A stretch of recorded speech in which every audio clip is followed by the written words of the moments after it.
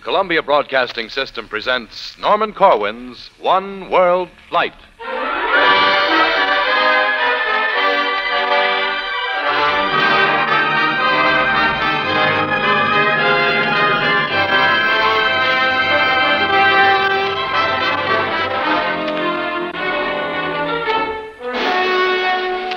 Said United States Ambassador McNutt, I feel that democracy is firmly rooted in the Philippines.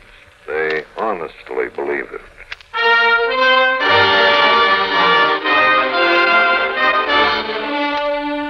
said the Filipino scientist, Dr. Lava. On the contrary, what's happening is that there is actually no democracy in the Philippines, in spite of Mr. McNutt.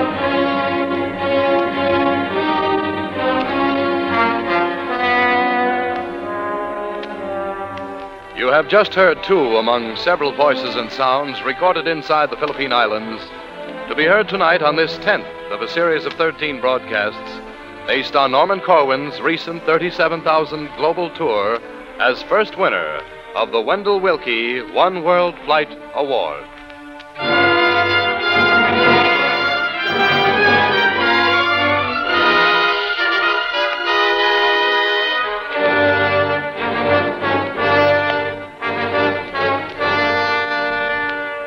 This is Norman Corwin. The plane from Tokyo to Manila lands at Naha, Okinawa around midnight for fuel and passengers, and it stays on the ground for two hours. To thousands of American boys, it had been a last stop, but there was nothing around the airport now to indicate that a war had blown through here. It seemed in the dead of night like any wayside fueling stop on a long flight. A shack or two with a radio range, a small control tower, Nothing for the traveler to do but sit or stroll. The moon was bright overhead, but off on the horizon, lightning jabbed the sky with silent flashings like the ghost of some bygone battle. I ambled around the field, found a ping pong table on its last three legs, long ago abandoned to the weather. I stretched out on it. The night was calm and cool and quiet. And I thought as I watched the distant electrical storm of some of the hot and turbulent countries we had visited in the course of the one world flight. The peace was now 13 months old, and men were still killing each other over political differences. In Poland, Italy, India, China, there was violence ranging from throat slitting in a back alley through pogroms, riots, and civil war. I wondered about dispatches which had been coming out of our next stop. Reports of attacks by Philippine military police against a peasant movement in central Luzon. When I had left New York three months earlier, I was under the impression that the Filipinos were rebuilding their country as fast as they could, that they were delighted with the independence granted them by the United States and were well started on their new nationhood. Whether or not this assumption was naive and uninformed, I would soon find out, because our C 54 was all gassed up now and ready to take off for Manila, 900 miles away.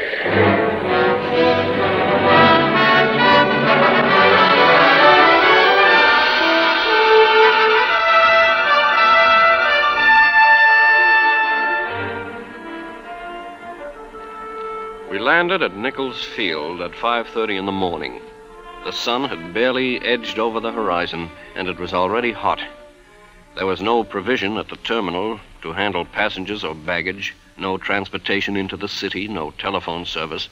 We hailed a truck finally. We hopped on it and rode in. It was a ragged entrance, and it turned out to be fairly representative of the state of Manila, both on the surface and inwardly. For one thing, the city is, next to Warsaw, among national capitals, the worst shambles of the war. Its government buildings, once reminiscent of the solid, conservative, and dignified architecture of Washington, D.C., are now heaps of rubble, gutted, twisted, sprawling. We drove in a Jeep one day to see the damage. Bill Sanford of the State Department was with us, and he explained why the work of rehabilitation was going so slowly. Beneath these ruins, I think there are still many, many Japanese dead which have been unable to uh, be removed simply because of this uh, terrific destruction. I imagine it will be many years before they can tear all of this down. As I understand, the uh, the cost of tearing it down is even greater now than uh, the original cost of construction. The devastation was wider spread than I had imagined. From somewhere, I'd gotten a notion that the fighting had been localized within the city, but Sanford straightened me out on this. I doubt very much if you can find uh, a semblance of uh, construction any place that is still standing. We passed a number of shattered churches, and I asked Frank Trinidad, a Filipino, whether any churches were left standing after the city was liberated. Well, they're not charged churches anymore in the sense that uh, they you can hold masses in them. All that are left are walls. As we approached the Pasig River, which bisects Manila, traffic thickened by the yard. The American Army Forces of the Western Pacific, AFWESPAC for short, had released for sale thousands of jeeps, and these had been converted into vehicles called jeepneys. They were the main transportation of the city and did the work of streetcars, buses, and taxis. But there were so many of them trying to cross the river and so few bridges that congestion was almost as bad as in Shanghai. The recording you're about to hear was made while moving on the Santa Cruz Bridge over the Pasig. You will hear the whistle of a traffic cop, a newsboy selling papers, and the bells of a cathedral nearby.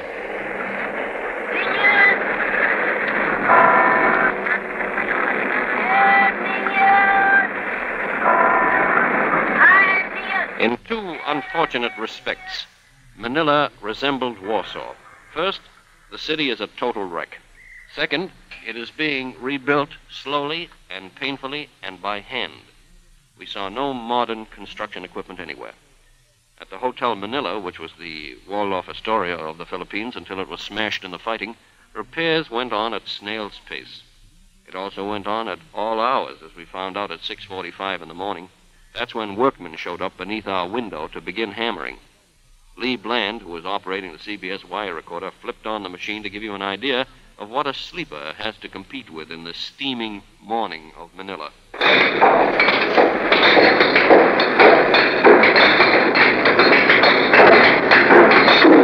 That sound last fall was characteristic of the whole city. Wherever you went, men were hammering. I did not once see a riveting machine, a steam shovel, a bulldozer, a tractor. Consequently, as with Warsaw, the prospect of rebuilding Manila is one that must be thought of not in terms of a year or two, but of a generation.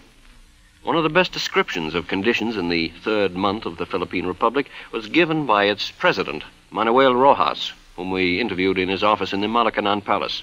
Large numbers of people are unemployed. Homes, mills, shops, stores, and factories are in shambles. Our public buildings are, as you can see by looking out this window, in utter ruin.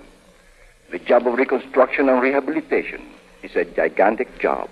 Mr. Rojas received us in an immense wood paneled, air conditioned room. He wore a plain, undecorated khaki uniform.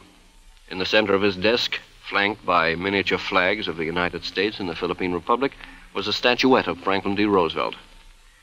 It was cool and comfortable in the president's office, but outside it was hot and humid. Thunderheads were piling up east of the city. Also piling up inside and outside of the country was public opinion. Opinion pro and con the man who sat across the desk from us. By his enemies, he had been called a quisling who collaborated with the Japanese, a dictator who was using fascist tactics against his own people. By his admirers, he had been called a democratic, patriotic, heroic, and wise leader. Paul V. McNutt, the last governor of the Philippines as a territory of the United States and, after its independence, our first ambassador, was outspoken in his support of the president. In an interview of which you will hear more later, Ambassador McNutt said, I've dealt with many public officials in my life. I have never dealt with one on a more satisfactory basis than uh, with President Rojas. He is a dynamic and a wise leader. His people are accustomed to following leadership. They will do well to follow his. But not long before our visit, former Secretary of the Interior Harold Ickes had publicly attacked the Rojas government as, quote, a fascist dictatorship under which a newly liberated people was being shackled, end of quote. He charged that the Rojas administration, in refusing to seat eight opposition congressmen who had been elected in central Luzon, had given what he called proof of its anti democratic character. And he went on to charge that the undemocratic aims and program of Rojas had the sympathetic support of American army and government representatives. Whether or not this was true, there was no question about the shooting in central Luzon. An organization of peasants named the Hukbalahaps, who had fought as guerrillas against the Japanese, had made demands for land reform and expressed generally sharp opposition to Rojas. They were in possession of small arms which they had kept after the anti Japanese fighting, and Rojas demanded that these be surrendered. The demand was resisted on the grounds that armed bands, allegedly subsidized by Philippine landlords, were terrorizing the peasants. In any case, there had been some nasty fighting north of Manila between government MPs and the Hukbalahaps, and it was still going on. I asked President Rojas about these disturbances. People today are more conscious of their right to a decent livelihood. They're also more impatient. The actual disturbances to which you refer are indicative of their impatience, as well as of certain political currents of thought which have found some root here. We do have problems of law and order. They are not, except for a very few individuals, protests against the government or the democratic form of government. Rather, uninformed and violent protests against economic conditions. We have had to meet the situation directly, and I think we have solved it in the best interests of all concerned. I had heard criticism to the effect that Rojas had surrendered Philippine independence to the United States through special economic concessions called parity. I asked the president about this, whether the independence was real. Of course, our independence is as real as that of any other nation in the world. Certainly, more than that of most other small nations. We are free to make all the decisions and take all the actions that we desire within the framework of the necessities and imperatives which every people in the world face today.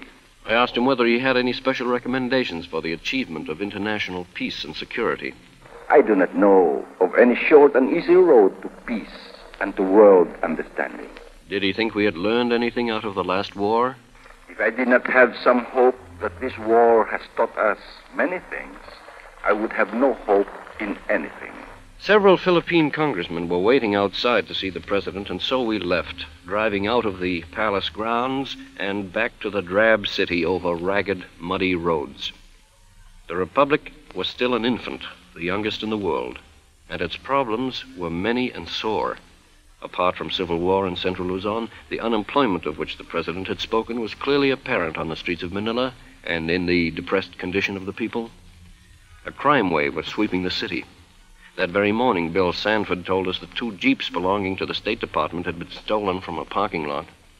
Filipino veterans were charging that they'd been badly let down by Washington on a matter of veterans' rights.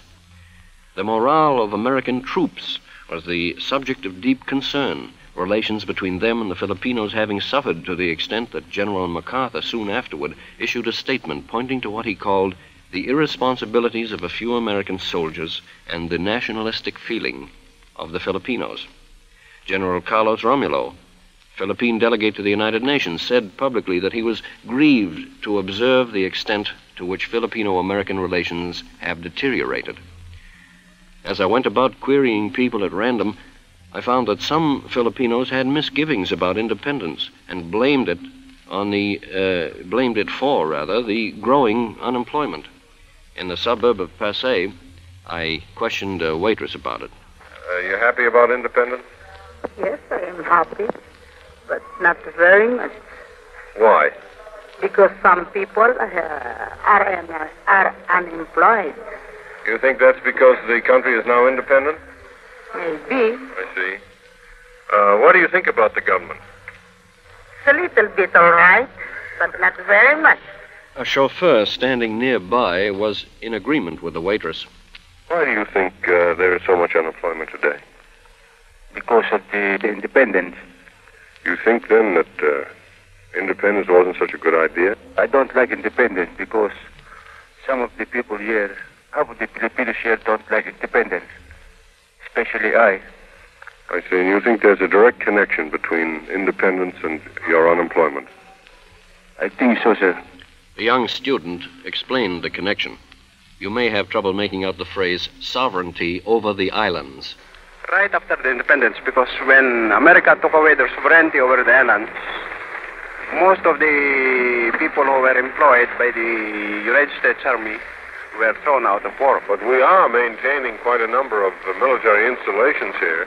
I know, but they they employ only a part of what they used to do. I found that English came hard to most of the average Filipinos whom we met, and in the answer of a laundryman to a question about the world situation, you get a sense of this sometimes painful groping for expression. The situation in the world is, is, is still unstable. What do you think uh, is making it unstable? Well, there are still nations that used to that used to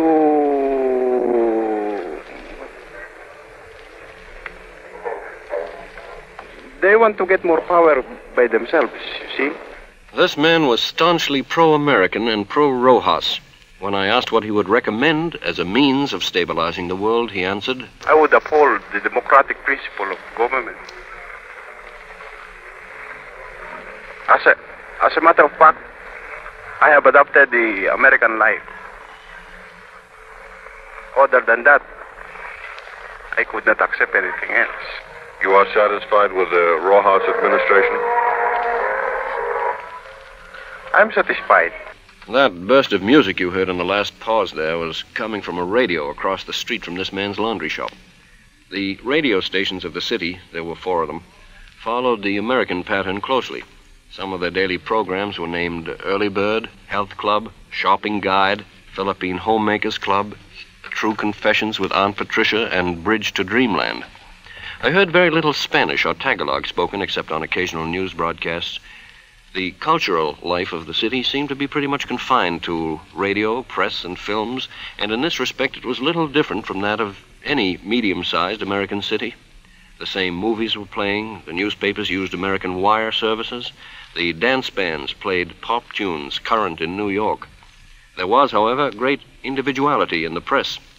Political criticism was as violent as in America, but it was sometimes more colorful. For example, in the Star Reporter, a columnist named Carlos Sison was running a series of columns under the bold heading People of the Philippines versus Manuel Rojas for the crime of treason.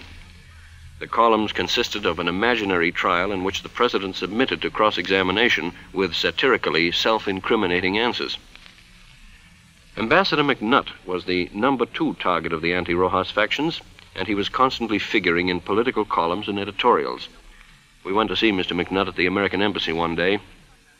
The ambassador is a big man, handsome, prematurely white haired.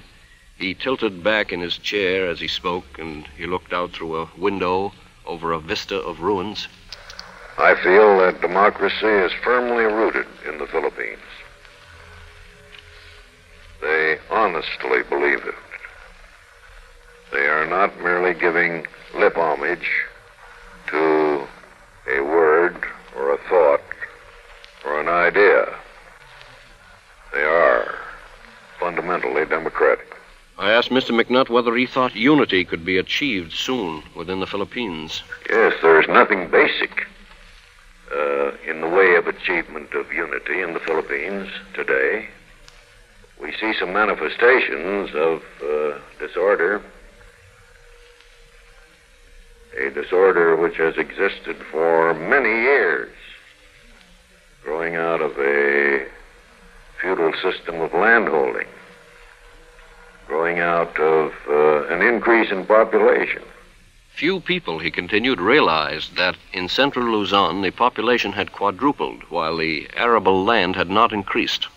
He said there was other land in the Philippines, that the government had a program for bringing about migration, and that this would solve at least part of the difficulty.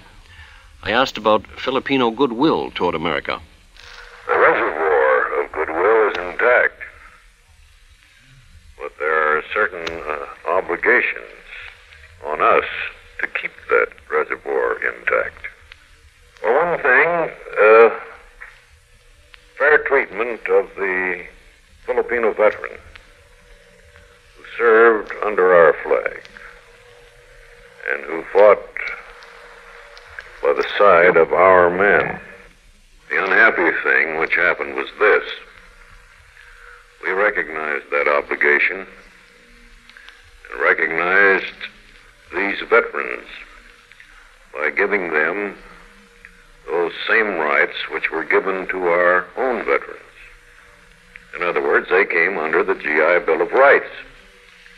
And then, without any warning, or without any public hearing, we took most of those rights away from them. Following our interview with Ambassador McNutt, we took our microphone around the city to meet more of the people and to ask them what they thought of the chances of peace. In most of the war shattered cities we had visited, there was great weariness with war and a powerful reaction against the suggestion of another one at any time. But here, in this city which had been savagely attacked by a fascist power and cruelly treated under Japanese occupation, I found stray Filipinos thirsting for another war, not against their old enemies, but against a former ally. This housewife and mother, for example. I'm going to finish Russia right now so that there will be no long preparation on the part of the Russians. You're afraid of the Russians. Yeah, I am afraid of the Russians Why? because it is big enough. uh, it is uh, a big nation to be afraid of. Russia is the atomic bomb right now. How do you know? Oh, it is true. It is in newspaper. What newspaper? Uh, every newspaper. I haven't seen it in any Every newspaper. Every newspaper says that the Russian has discovered the secret of the atomic bomb. There were several views along that order, and based on that level of information, one of the more moderate responses was from a young clerk. You think we're going to have another war? Uh, as for me, I believe so, but many, many years more to come. But he thought that the longer we go without war, the better the chances of avoiding one altogether. Once you can forestall a war, there is much po- probability that it would forestall forever. As in other countries, we were at no time attempting to poll opinion. But from those whom we did interview in Manila, I gathered that they were vaguely afraid of communism growing up inside their country. They seemed about evenly divided in their sympathies for the Hukbalahaps. They professed to be largely pro American, but not that largely pro Rojas. There were deviations from this, of course, such as the estimate of conditions in the Philippines made by Mrs. Benedict Orell, wife of an American businessman. I think that for the first time I've seen what imperialism means and what fascism means as far as disturbing the day to day living of the people. We in the United States have it easy. When we attend a meeting at night, we don't attend it with a pistol to protect ourselves. We don't have to be chaperoned. The girls aren't afraid to go out in the evening and aren't afraid to return home on the street. But here it's different. When you leave your home, you don't know if you're returning to your home. And then there was Dr. Vicente Lava, a prominent scientist, degree of Doctor of Philosophy from Columbia University. We interviewed him at his home in the countryside. He was deeply disturbed about the state of both the Philippines and the world. Of the situation at home, he said, All I know is that certain things are uh, done in the Philippines uh, along fascist or semi-fascist lines. They have apparently the backing or the support of the ambassador or the high commissioner. I asked what he meant by things being done along fascist lines.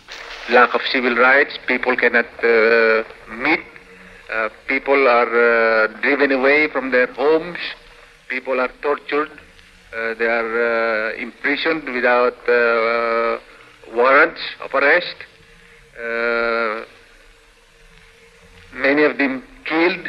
He charged that the Hukbalahap fighting in central Luzon was essentially due to the landholders and their agents with the help of government military police. He said the MPs had been raiding villages and destroying crops. There is no way out all the people except to fight and defend themselves. On the subject of peace and war, he said that he had prophesied the last war, even to the point of its being started in the Pacific by the Japanese, but that he did not believe there would be a third world war. I asked whether he thought it possible that we might achieve the one world of Wendell Willkie's ideal within four or five generations. Four or five generations would mean around about 120 to 150 years, sir. I think we can have it. You think we're going to have to fight our way through some terrible wars before then? Uh, not if the American people now take a very clear-cut stand on their foreign policy. Do you feel that America holds the key to world peace? Very definitely so. I asked whether he believed in the talk of a possible future war with Russia. No, I don't. I have enough confidence in the good sense of the American people as a whole, and I know that the American people do not want war. And with such a uh, feeling, such an attitude towards war, I do not believe we can have, uh, in fact, war right now. And I do not believe that the Russian people would want to start a war of their own unless they are attacked. We left the home of Dr. Lava and drove back toward the bay. Out over the South China Sea, the nightly thunderstorm was flickering. We drove through poor districts which were poor even before the shells hit them, along modern boulevards, past the shattered and gaping legislative and agriculture buildings, the fire blackened post office, the crumbled Elks Club, past the monument to the Philippine hero Jose Rizal, who was ex- executed by Spaniards 50 years ago for his patriotism. Out in the bay, beyond view, was Corregidor, and just north of that, Bataan. The blood of many an American and Filipino had been given in these places in the name of the freedom and democracy of the islands. The war against a common enemy had been won, but the country was unhappy. It was divided. It was restless. There were bad feelings between the former allies between liberators and liberated, between father and son. Who was responsible for it and what to do about it were questions that I certainly was in no position to answer with any authority.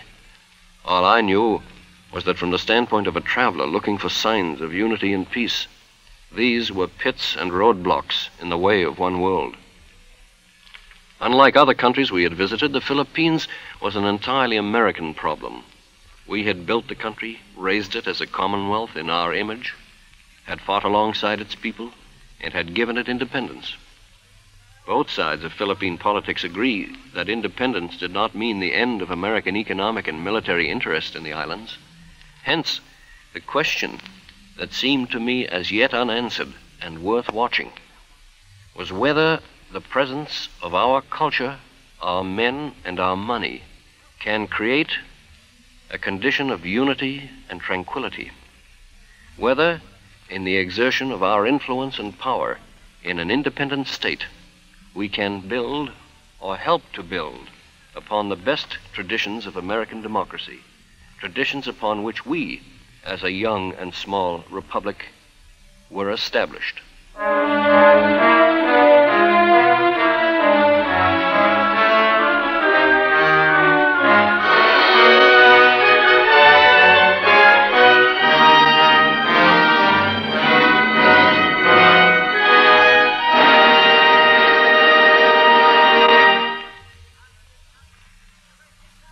Have been listening to Norman Corwin, first winner of the Wendell Willkie One World Flight Award, in the 10th of a series of broadcasts based on his recent 37,000 mile global tour.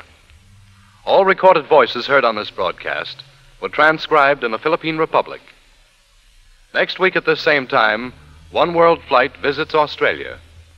Tonight's musical score was composed and directed by Alexander Semmler. Guy Della Cioppa was associate director. This is CBS, the Columbia Broadcasting System.